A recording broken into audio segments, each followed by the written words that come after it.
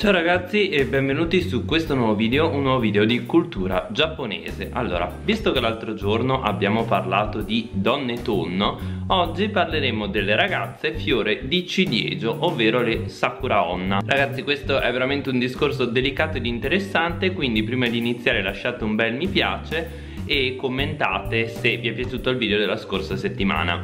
A tutte le persone che mi hanno fatto gli auguri per l'esame che ho dato questo martedì e vi ringrazio a tutti perché l'esame è andato molto bene è stato anche grazie a tutti voi.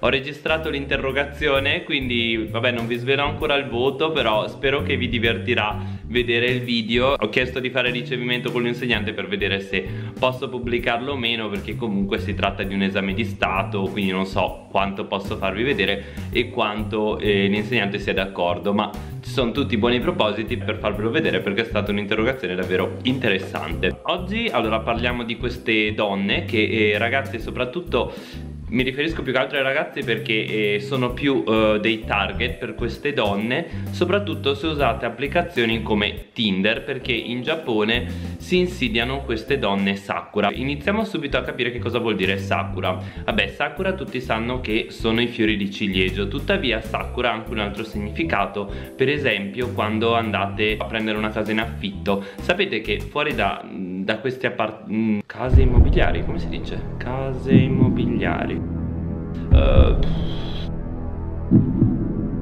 few minutes later. Fuori da queste agenzie immobiliari spesso si vedono questi appartamenti favolosi vicino alla stazione che costano pochissimo. Ecco, questo in giapponese si dice sakura perché sono degli appartamenti che realmente non esistono e sono lì solo per accalappiare gente che voglia prendere una casa in prestito da loro. Entrerete, voi gli chiederete magari la casa che avete visto fuori e loro vi dicono "Oh, mannaggia, quella casa è stata appena presa, l'hanno appena affittata delle altre persone". In realtà tutte queste cose che vi raccontano sono bugie nella maggior parte dei casi e quelle case che voi avete visto da fuori sono semplicemente delle pubblicità fittizie mm, un po' come gli account che potrete trovare su Tinder. Ragazzi ho trovato un articolo che ne parla ve l'ho tradotto per voi ho deciso di parlarne perché c'è questo utente che ha fatto un sacco di ricerche su Tinder. Per chi non lo sapesse Tinder penso che tutti lo sapete però è un'app per trovare partner comunque una dating app in cui si possono conoscere persone si possono fare degli incontri. Lui è andato ad indagare e si è chiesto quanti di questi utenti Sakura esistono su Tinder. Ma andiamo adesso a vedere le caratteristiche di queste donne Sakura. Innanzitutto parto con fare una distinzione cioè questo articolo faceva questa distinzione tra le ragazze Sakura vere e proprie e le Gyosha allora le Gyosha che sarebbero praticamente dei commercianti sono magari delle aziende che sono lì perché magari vi vogliono proporre una ragazza che magari lavora in un determinato Misushobai Misushobai letteralmente vuol dire negozio che ti vende l'acqua. Sono dei locali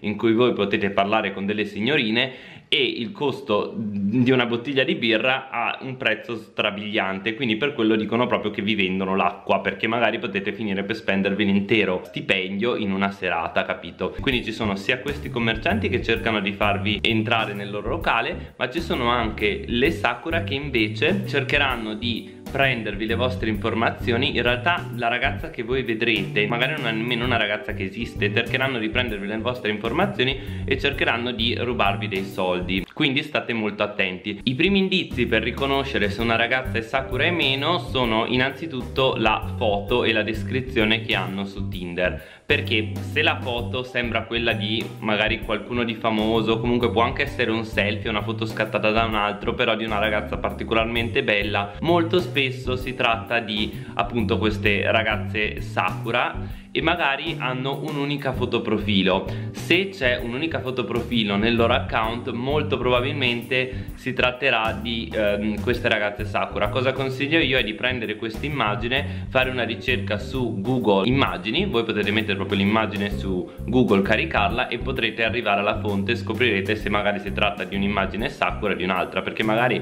anche foto magari fatte da altre selfie eccetera possono essere prese magari da altri account Instagram capito? Non è detto che magari il personaggio sia famoso può essere una ragazza comune che però rispecchia magari i gusti di possibili uomini che magari finiscono per scambiare informazioni private o spendere soldi per queste ragazze che non incontreranno mai perché sono delle ragazze che praticamente non esistono. Sono degli incontri fittizi praticamente. È una truffa vera e propria. Un'altra cosa è che spesso queste ragazze magari mettono immagini di lusso di hotel belli dove sono andate o magari di guadagni che hanno fatto. Anche questo è un altro indizio perché ti fa pensare che comunque sono ragazze interessate al lusso e che comunque magari hanno insomma degli interessi a farvi spendere dei soldi. Ci sono anche alcune di queste a raccontava c'erano proprio anche dei tweet che diceva che praticamente sono queste ragazze che magari fissano l'incontro e poi quando vi incontrate prima dell'incontro vi chiedono però per essere più tranquille di inviarle 20.000 o 30.000 yen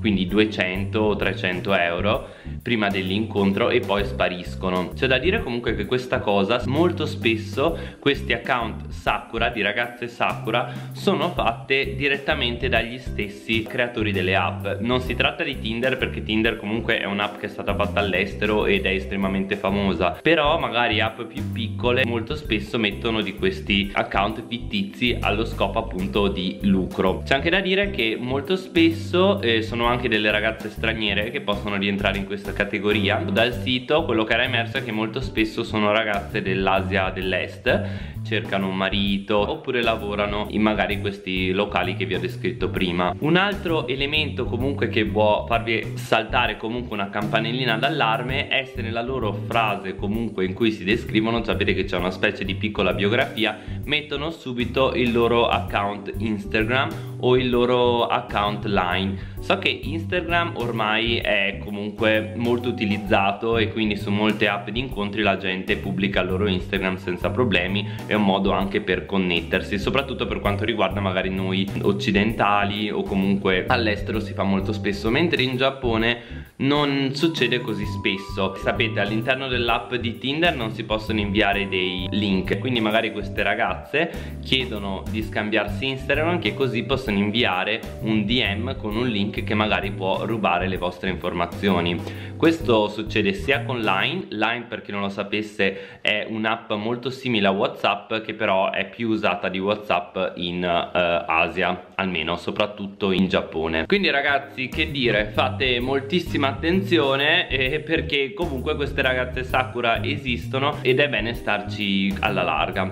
Io ragazzi non so se qualcuno di voi ha mai usato queste applicazioni se questa cosa succede anche in Italia o se succede soltanto in Giappone. Avevo fatto quel video sulle agenzie matrimoniali che ve lo lascio qui.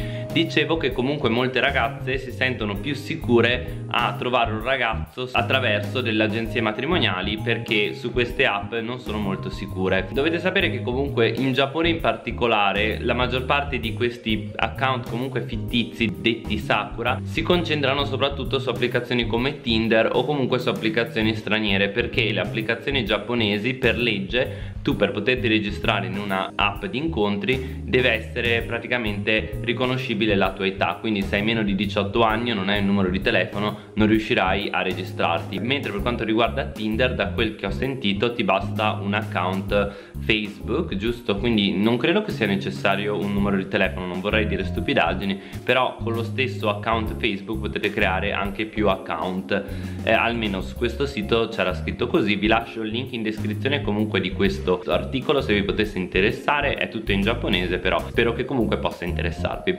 Ragazzi eh, io spero che questi video un pochino più tranquilli vi possano piacere e adesso proprio a giorni sto per partire per il Giappone, ho già finalmente scelto la mia casa, devo dire che che per le prime due settimane dovrò dormire su un futon perché il mio letto arriverà eh, l'8 marzo. Non è la festa della donna o il 9 vabbè non lo so. Comunque finché non mi arriverà a letto dormirò su un futon. Ditemi se volete il tour della casa che ve lo farò è una mansion quindi sarà una casa abbastanza moderna non grandissima però vicino alla palestra che sapete per me è estremamente importante e che dire grazie sempre per vedere questi video noi ci vediamo al prossimo se ancora non l'avete fatto lasciate un mi piace e un abbraccione da Seba. Ciao!